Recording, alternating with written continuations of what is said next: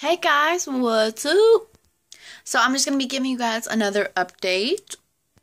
So, okay, so tomorrow be praying for me. I have to go in to the driver's place, the DMV, and I'm taking my test. So, pray that that will go well. And secondly, the other day, I happened to be shopping with my dad at Market Basket, and I got a little something something. And that is oh, a succulent plant. So I just propagated one leaf, and what propagated or whatever that term is, um, it means that you take off a leaf of the succulent and you actually create another succulent from that leaf. Um, you see, succulents are plants that reju- uh, re- rejuvenate themselves. And what that means is that no matter what part of the plant that you take off, it will always regrow another one, which is pretty awesome. Um, so it's a good investment if you are a plant person and you want to um, have a lot. The only downside to having a succulent, I found out, is that even though you can propagate or whatever that term is to uh, rejuvenate the plant um, to create another one, the process is very long. But if you have the patience, um, it's a very good beginner plant as well because you can leave it um, out for like a week and not have to water it. Even though you do have to water on occasions, it's kind of like a cactus plant where you don't actually have to check up on it on a daily basis, which is really nice for those of us who don't garden or don't do anything of that sort at all. So here's just another look at it. Here's a close up. And as you can see right there, I propagated one of the leaves because it looked like it wasn't doing too well. So I just stuck it in the soil.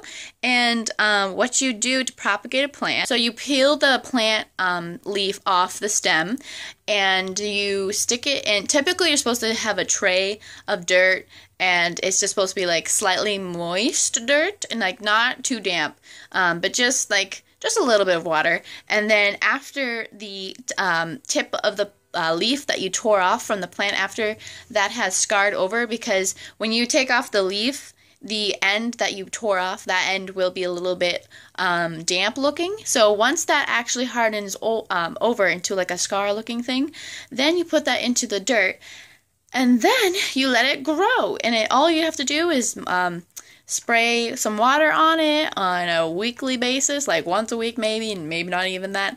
And um, you don't leave it in direct sunlight. Make sure you leave it in indirect sunlight.